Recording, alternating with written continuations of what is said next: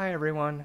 This is going to be the math review. We're going to cover a bunch of topics that will be useful for us the rest of the quarter.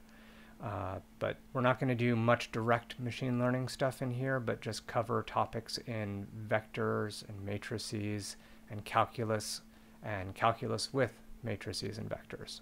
Okay? Uh, if for some reason you either are very comfortable with this kind of stuff, you can feel free to skip this uh, lecture, or if you're not finding my version of this material very useful, then please you should seek out some of the videos that I've linked to in the syllabus from 3 Blue, 1 Brown. They do a really good job of showing you the basics of linear algebra and calculus. They're a dedicated YouTube channel for math. So consider taking a look at that uh, if my exposition isn't working for you. All right, let's do a very fast recap of uh, things that we were doing at the end of the last uh, lecture. So supervised learning is what we're doing in this whole quarter. And the framework that we learned about the last time is that we're trying to do some kind of prediction task. We're trying to either make a decision or come up with a real value that accurately reflects what our data are telling us to get out of this result. Um, so, for instance, if we're trying to make a decision, is something a bird or not a bird based upon measurements of this animal? Or we're trying to get a predicted price for something given features that represent that something. Okay, in order to do this, we need to have a bunch of data. And along with that data, we have to have some sort of label to go with each element in a training data set. Okay, we need to know what's the right answer for a bunch of data so that we can use that data to fix up our machine learning algorithm to make the right answers on a completely different data set. So we're going to call these two data sets training and testing. And the training data set has pairs of objects in it, x of i, which is a vector representing the input, and y sub i, which is the correct label for each one of those elements in the training set. Now, in this case, we're saying that the training set has n elements in it. Okay, the testing set has input vectors in it, and we're trying to predict the proper output, y sub i, for each one of those u elements, right?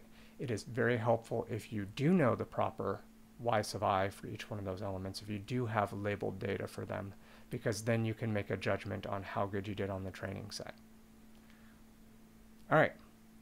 Um, the other thing that we just need to briefly mention is there was another video which uh, where I used a Jupyter notebook to show you a little bit about features and input data and how you can transform input data into features that are more useful for a particular task that you're doing with that data. So if you haven't already seen that video, head on back. Well, into the vectors. So a vector is simply a directional magnitude, a direction and magnitude in one in the sense of uh, writing it down a bunch of numbers, right? So we're going to write down numbers that represent a direction and a magnitude. So here is vector A. We can represent it as starting at the origin and going to this point here. And this point here can be represented in terms of these variables A. So if A1 tells you how far along you are on X1, and A2 tells you how far along this point is up axis X2, and A3 is like an intercept term. Right now we're drawing these vectors as going through the origin, but if we had the same vector, the same direction and magnitude, we could also put it up here and have it go from this point up here, right? And to do that, we would need uh, a bias term to, to move that vector away from the origin, all right? So we have vectors A and B. We can, of course, add vectors A and B together, right? So if we just take vector b and we translate it in space and move it up to a, we can see that the operation a plus b is just that stacking, produces this vector here, a plus b. And numerically, we just add together the three elements of the vector. Okay. So let's show you how we use such a thing inside a machine learning context. We're going to use the decision boundary example from the last lecture. So we want to draw a line here that optimally separates birds in this feature space from non-birds on the other side of that boundary. And we can say what happens when uh, we draw a boundary. We're drawing it with this uh, vector x. x is showing us the line that the boundary lies on. Okay? What happens when we have a point, which we will call x, which lies on the decision boundary? Well, every x that lies on the decision boundary, the dot product of w that defines the boundary and x is defined to be 0. So any point on this line, the dot product of w and that x dot point, wherever it is, is 0. So this is just a bunch of ways to write that in similar notations, that the dot product can be written this way, this way, this way. These are all equivalent notations. So, and W is the normal direction of the line. W defines the normal vector. The sorry, the um, the projection defines the normal vector. Okay. So what if we have a point x1 which is not on the decision boundary? Well, so this is the vector x1 going from origin to that point. And the dot product is the projection of x1 onto this normal vector w. All right? So that normal vector w tells you how far up away from the decision boundary this point is. Okay? So x1 dot product with this vector w is the measurement of the perpendicular uh, displacement of x1 off of the decision boundary. How is this useful in machine learning? Well, you know, if birds are over here and non-birds are over here, things that are kind of sort of mostly birds are going to lie near the decision boundary. And things which are further off the decision boundary, you might have more confidence potentially in your prediction. Okay, so maybe ostriches and um, funny things like platypi and raptor dinosaurs all lie closer to the boundary than uh, many other kinds of animals. Right. So again, I'm going to mention that there are some YouTube videos on 3 blue 1 brown like this one which are going to give you good introductions to this if what I've just said to you doesn't make much sense. All right. So if you would like to, we can use this example with particular numbers, okay? Um, so one thing is that W, this normal vector, is often represented as a unit vector. That is, that, whoops, let me go backwards.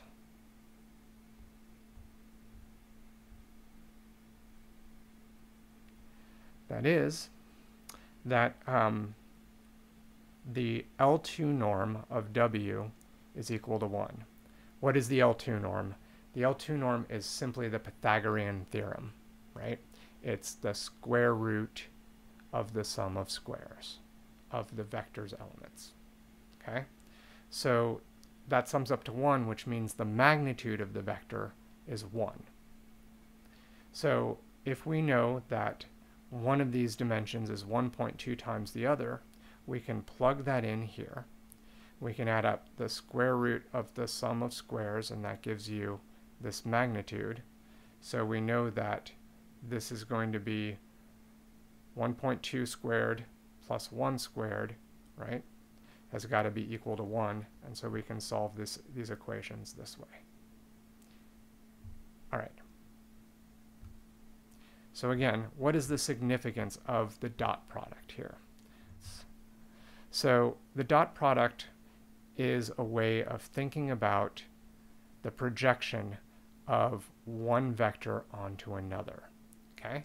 So the dot product represents the way in which vector A, how much of vector A lies along the direction that vector B is traveling. And the thing is, is that is a, that is a commutative property. A dot B is the same as B dot A. How much of A lies on B is the same as how much of B lies on A. So the, you can think of it in terms of uh, like shadows in a, um, in a sundial, okay? So let me turn back on my video here. So if you have vector A and vector B, okay, and they're orthogonal, then the projection of A, if you imagine the sun being right overhead, is zero. It just disappears, right?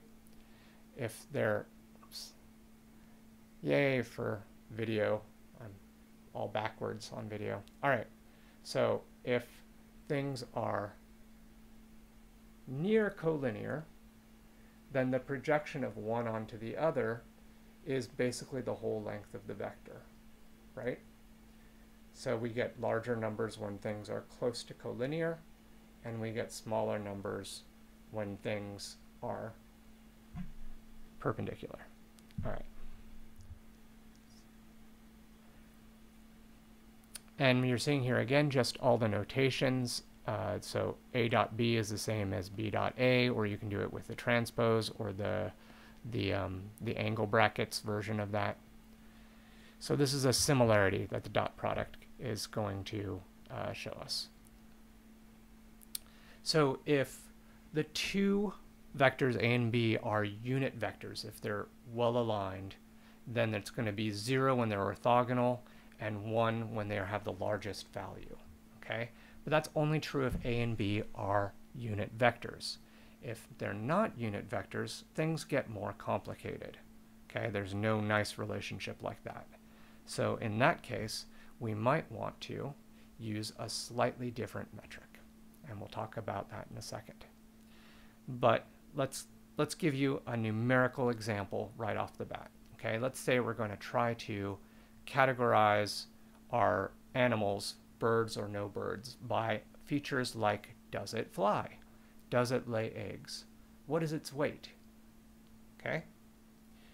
So we can represent those by a vector. So sparrow becomes this, and chipmunk becomes that, and here's bat.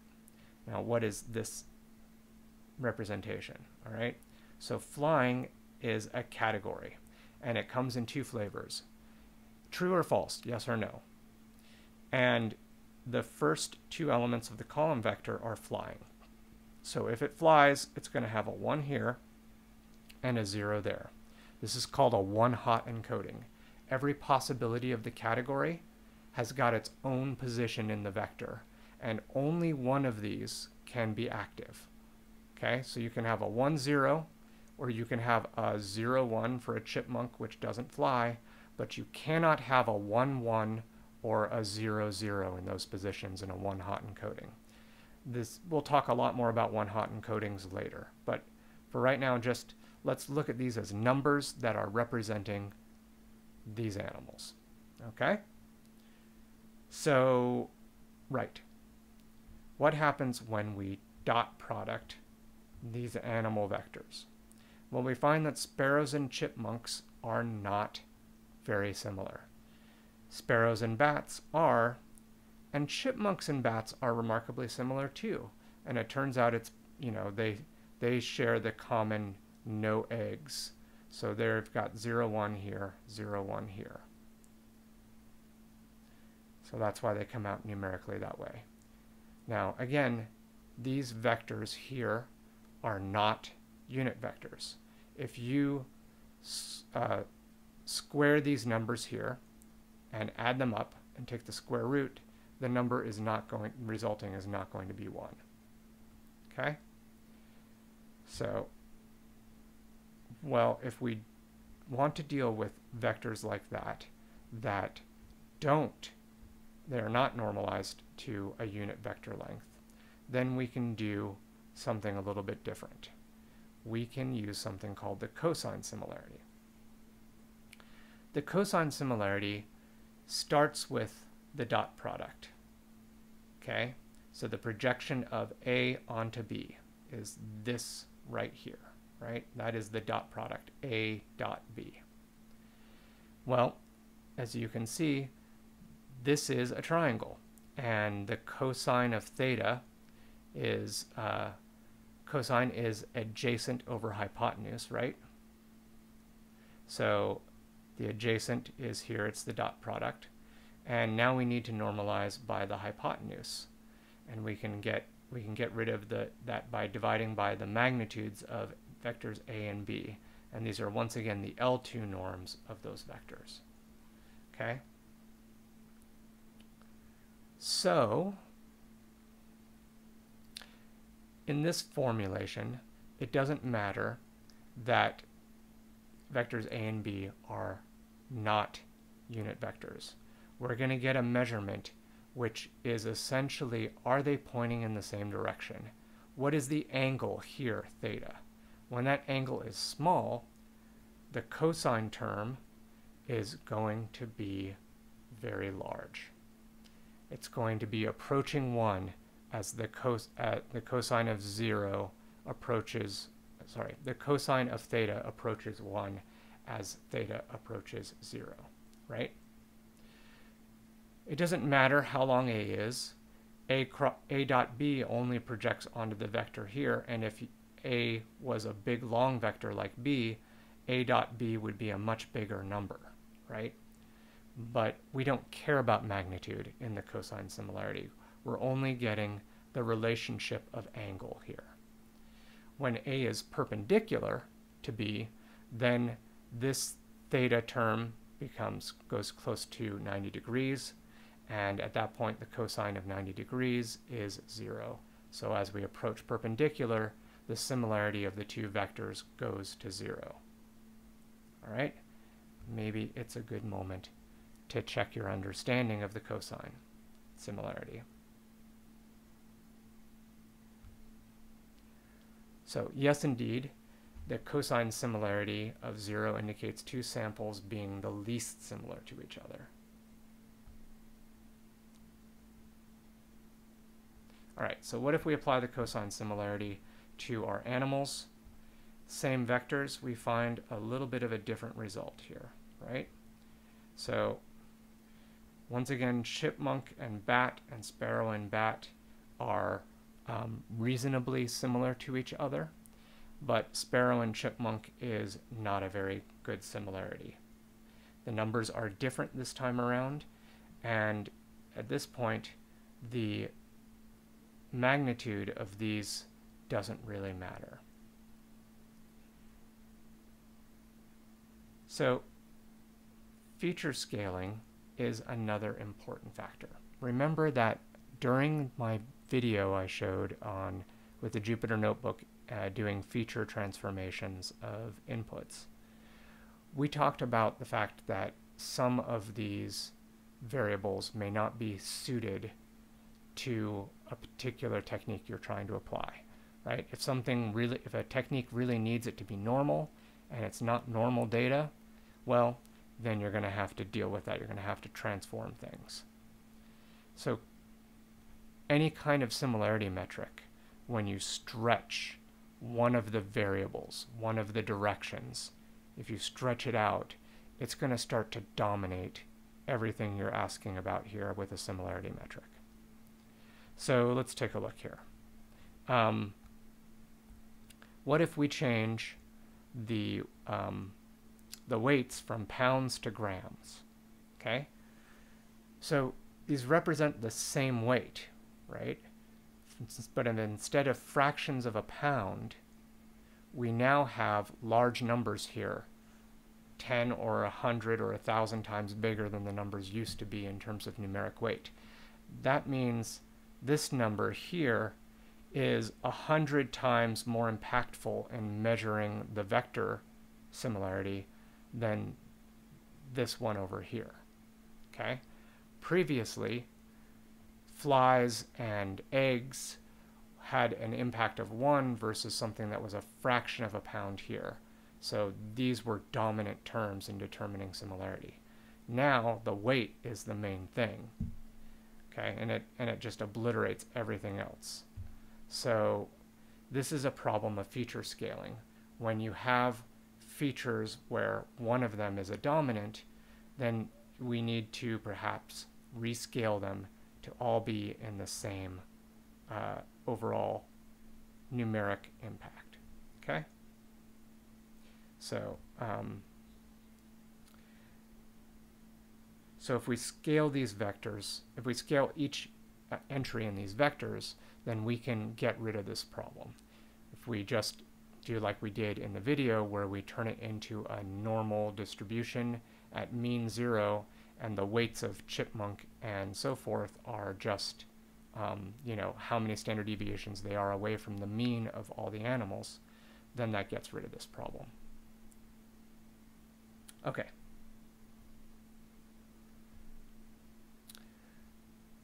so just to recap all this Dot product is a similarity measure between two vectors and it includes their magnitudes. Two vectors that are most, most close to each other are going to have large values of dot product. And if they are normalized, then the dot product goes between 0 and 1. If they are not uh, normalized vectors, then the dot product can take on other values. Cosine similarity, however, is always between 0 and 1, and it only cares about the direction of the vectors. It ignores their magnitudes. Okay? So in all cases, 0 is least similar and 1 is most similar. All right. So again, we can, uh, if you if this became confusing for you, please check out uh, the YouTube 3 Blue 1 Brown. Now, we're going to head onwards to matrices. Let's uh, let's see if I can appear in the corner here to spice up some math. So we need to remember the way in which we were organizing the data. We're going to have a set of data to represent the training inputs, right? So we have a vector x of i of inputs and a set a label y sub i. We're going to have n of those is going to be our training set. And we're either going to be uh, saying something is or is not, right? It is category A or category B. Um, in this case, let's imagine that this data here, which has uh, health metrics on it, right? It's got age, and weight and height. Maybe our positive and negative is something like, say, high blood pressure. Okay, so does somebody have high blood pressure? Yes, then they're positive. Their y plus their y is plus one, and otherwise they're negative. Y is minus one. Okay, so that's the nature of our inputs. What are we going to do with them? Well, we can represent them as a matrix. Okay, so the matrix X transforms those inputs. Okay, so here is the age column. Here is a one hot encoding of male or female. That's male, male, female. Okay, weight and height. All right, we can encode the Y's, the outputs, right? And let's just assume that whatever algorithm we're using to classify has a, vec a vector w, which represents the parameters, which is what we're using to say, okay, we're going to make predictions now. Okay? So when we have a new x, something coming in, we're going to multiply it. We're going to do the, the matrix multiplication x times w, and that's going to give us our predicted value y. Okay? So, how does this work? Well, just a reminder of how basic vector and matrix multiplication work. A times B, when you have a column vector and a row vector, make a scalar, okay, as long as the, uh, the size of those vectors is the same, right? So if A is length 3 and B is length 3, then a column, sorry, a row times a column makes a scalar. So with all matrix math, it's, it's the fact that the first uh, of the two is going to tell you how many rows you have, and the second of the two is going to tell you how many columns you have. So we have one row and one column. That means we have a one by one matrix answer. So it's going to be a scalar. Okay, it's important to note that matrix math is not commutative. Okay, A by B, AB is not the same as BA in matrix multiplication. Okay, because when you did B, you would get three rows, right? And three columns. So that means the resulting matrix is 3 by 3. Okay? Again, the first one determines how many rows the answer is going to have. The second one determines how many columns. All right. So when we do things with matrices, uh, it works. This it works the same way. Okay, it's not just vectors. So the matrix product is defined as this is. I don't want to go into the details because this is doing this on the iPad is a terrible, terrible thing. Again, if you are not familiar with how this works, I do recommend checking out the uh, the three blue, one brown. Okay. Okay. So we've done matrices in a quick review. Calculus is the next thing, and then after that we're going to do calculus with matrices, all right? And that'll kind of close out our math. So we know that anything which, so with calculus, if you're going to, uh, you're going to look at calculus for the first time with me, you're in trouble, right? So the fundamental things are with derivatives is that the derivative of anything with respect to something else has got a fixed set of patterns, right? The derivative of y with respect to x in this case is just the constant a, right? The derivative of x squared something becomes 2x, right? there is a fundamental pattern that we drop a power and we uh, transfer out any constants. Okay? So with functions like this, the uh,